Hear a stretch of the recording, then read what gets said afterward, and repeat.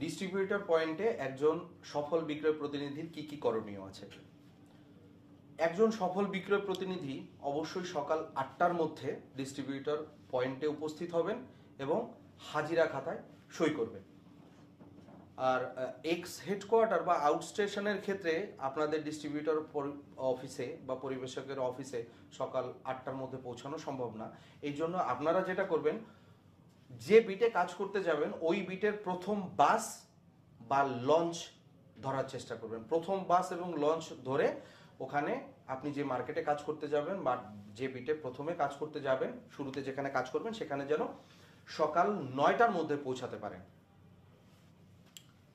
আটটা দশ মিনিটের মধ্যে আপনার বিক্রয় যে রেজিস্টার খাতা আছে, এই বিক্রয় রেজিস্টার খাতাটা পূরণ করবেন।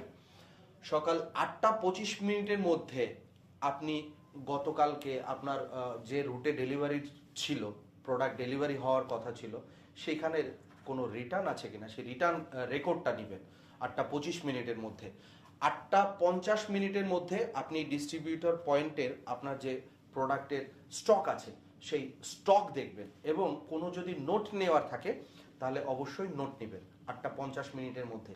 এবং সকাল নয়টা পনেরো মিনিটের মধ্যে অফিসের নির্দেশনা অনুযায়ী ডিস্ট্রিবিউটর বা পরিবেশকের অফিস থেকে আপনাকে আপনার কাজে বের হয়ে যেতে হবে। কারণ আমরা জানি, সময় মতো যদি আমি কাজ শুরু করতে না পারি, আমি সময়ের মধ্যে কাজ শেষও করতে পারব না।